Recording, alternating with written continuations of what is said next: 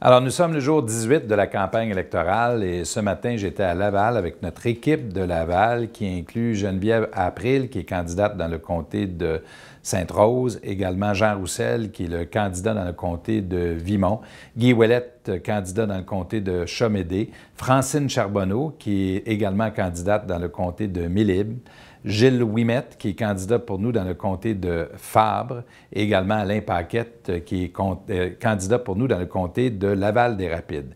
Et nous étions ensemble pour faire une annonce qui touche le transport en commun. D'autant plus que le métro de Laval, qui est au métro Montmorency, le poste euh, Montmorency, est un métro qui réussit très bien.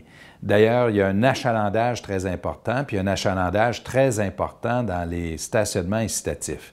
Alors, c'est un exemple de succès qu'il faut répercuter en offrant davantage de stationnements incitatifs à tous les Québécois de la grande région de Montréal pour qu'ils puissent faire le choix d'utiliser le transport en commun. Alors, ce matin, ce que nous avons annoncé, c'est l'ajout de 11 500 places de stationnement en stationnement incitatif. Il y en aura 1 500 de plus justement au métro Montmorency qui se trouve sur l'île de Laval. C'est un stationnement à étage qui sera construit, qui sera payant, de telle sorte que la population pourra faire le choix d'utiliser davantage le transport en commun. Et il y en aura 10 000 qui seront déployés également sur le territoire de Montréal, la grande région métropolitaine par l'AMT, alors qu'il se trouve actuellement 36 000 places en stationnement incitatif sur le territoire. Évidemment, en construisant des stationnements, ce que nous allons faire, c'est accélérer le transport pour plusieurs personnes, réduire les retards, on va réduire les bouchons, on va également réduire les gaz à effet de serre en, réussissant à enlever des voitures sur la route. Et tout ça, ça nous permet d'atteindre l'objectif qu'on s'est fixé au Québec, qui est le plus ambitieux en Amérique du Nord, de réduire de 20% nos émissions de gaz à effet de serre au niveau où ils étaient en 1990 d'ici 2020. Le secteur du transport est important au Québec parce que c'est le secteur qui émet le plus de gaz à effet de serre. Pourquoi? Bien parce que nous avons de l'hydroélectricité, de l'énergie éolienne. Alors, c'est le secteur qui en émet le plus, c'est là où il faut s'attaquer au problème.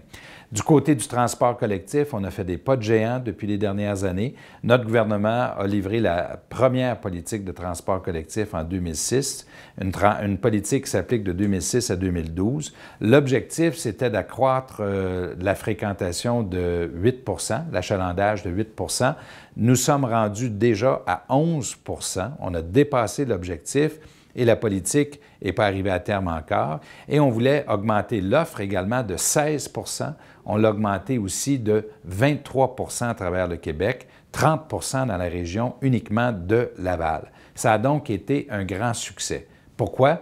Parce que sur la période, on investit en moyenne 1,1 milliard de dollars par année, alors que sous le gouvernement péquiste de M. Legault, Mme Marois, c'était 275 millions de dollars par année. Et dans les cinq dernières années, nous avons investi 5 milliards de dollars en immobilisation dans le transport collectif au Québec.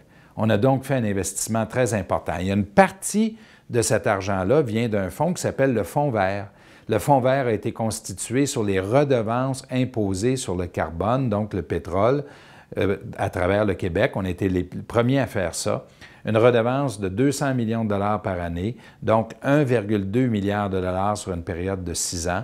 Alors donc, il y a ce lien entre la redevance sur le carbone et l'accroissement des services pour le transport collectif à travers le Québec. C'est pour la population de Laval, entre autres, un geste très important et ça fait partie de l'ensemble des projets, des initiatives que nous voulons pour euh, tous les Québécois. Maintenant, demain, ce sera le premier débat qui réunira les quatre chefs des partis politiques à Radio-Canada et à Télé-Québec. Ce sera donc l'occasion pour nous de s'adresser aux Québécois. Moi, ce que je souhaite, euh, c'est de vous parler le plus directement possible des idées, des politiques que je propose pour le 4 septembre prochain. D'autant plus que l'élection du 4 septembre n'est pas comme les autres. Nous aurons un choix à faire de société, sur le type de société dans laquelle nous voulons vivre. Et évidemment, pour nous, les libéraux, l'emploi et l'économie, c'est essentiel si on veut soutenir la santé, l'éducation, si on veut vivre dans une société où chacun a sa place et où il y a aussi derrière ça un autre enjeu important, euh, celui du type de société dans laquelle nous voulons vivre en termes de respect envers les uns les autres, en respect pour la démocratie, pour nos institutions. Alors, demain, ce sera le premier débat. Ce sera suivi d'un deuxième débat le lundi soir, cette fois à Radio, à TVA, pardon, où il y aura un face-à-face entre Mme Marois et moi-même. Et mardi soir, ce sera un face-à-face entre M. Legault et moi-même. J'espère que vous aurez l'occasion euh, de nous donner un peu de votre temps pour que nous puissions justement vous parler des enjeux du 4 septembre prochain, des idées que nous défendons et que nous voulons défendre dans le prochain mandat d'un gouvernement libéral.